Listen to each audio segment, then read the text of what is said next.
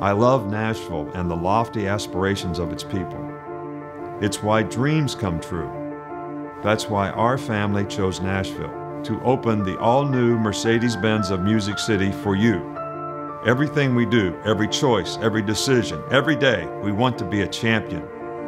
It's this uncompromising commitment to excellence that we're bringing to Mercedes Benz of Music City. Live the dream. Go to mbofmc.com.